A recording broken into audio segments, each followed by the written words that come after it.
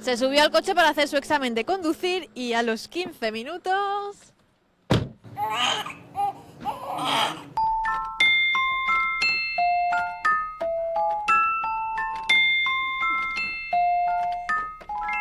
¿Qué ha pasado? Que me he puesto de parto en, un- en el coche de la autoescuela. ¿En el, en el examen de En conducir? el examen. Me pongo con las contracciones y me puse con 4 centímetros.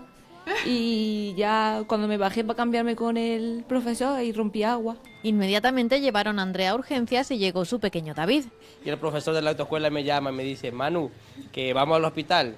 Y tuve que salir corriendo en mi coche persiguiéndola para el hospital acá y cuando llego pues ya estaban ahí listos para parir. Ya ni, ni cané ni nada. Ya lo importante es que está bien y que llegó Sano, ¿no? sano. Y precioso. Ya ves. Manuel, hay una queja de examinadores de tráfico porque los estáis volviendo locos. ¿A ti qué te pasó hace un mes? Hace un mes atrás pues que el día que tuve que examinar, ese mismo día tenía que casarme. Pero chiquillo, ¿por qué? eh? ¿Por, por qué eliges ese día? No sé, nos gustan las cosas complicadas. El riesgo. Madre mía, hombre, digo, no tenía otro día para casarte o para examinarte. Esta familia te da a ti muchos quebraderos de Madre cabeza. mía, ¿eh? madre mía. Vaya dos valientes. Y así fue la experiencia con el marido y después así con la mujer. Cuando Andrea se apunta a la autoescuela, ¿de cuánto está embarazada? Pues está embarazada de siete meses y medio aproximadamente. ¿Y tú qué le dices?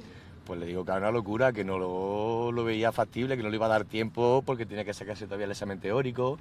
¿Y qué pasó? Tenía- Pues pasó porque esta muchacha es muy válida, eh, para esto es casi superdotada. Se sacó el teórico en una semana. ¿Y las prácticas cómo le fueron? Las prácticas fenómenas. Desde el primer día, yo cuando dio la primera clase, fue de terminar la práctica y le dije, sí te va a dar tiempo a examinarte. A no ser que se adelante un poco la cosa, sí te va a dar tiempo porque vi que podía. Pero Juan Ángel es mejor profesor que vidente. Finalmente, en pleno examen, tuvieron que correr. Ya está, no llores. Ya está, ya está, ya está. Andrea, tú sabes por qué está llorando el chiquitín, ¿no? Tiene hambre. Porque tiene hambre y porque su mamá ha suspendido al final. Ya, También, pero no me la han contado. Creo que escucho por ahí que no me la han contado al final. O sea, que te dan otra oportunidad, ¿no? Sigo teniendo las dos. Tienes, sigues teniendo las dos. Bueno, han sido considerados que menos, ¿no? Ya verás.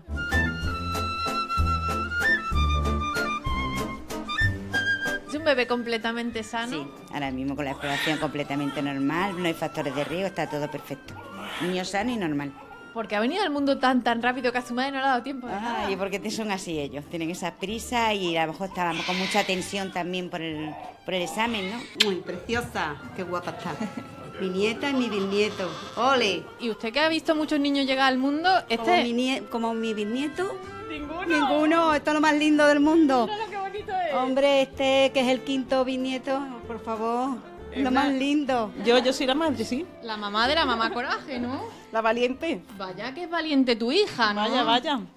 ¿A quién se le ocurre examinarse con ese bombo ya? Si es que en realidad eh, estaba prevista una cesárea para el viernes. Pero David se ha dado la vuelta y ha venido al mundo con mucha prisa. Se porta bien, ¿eh?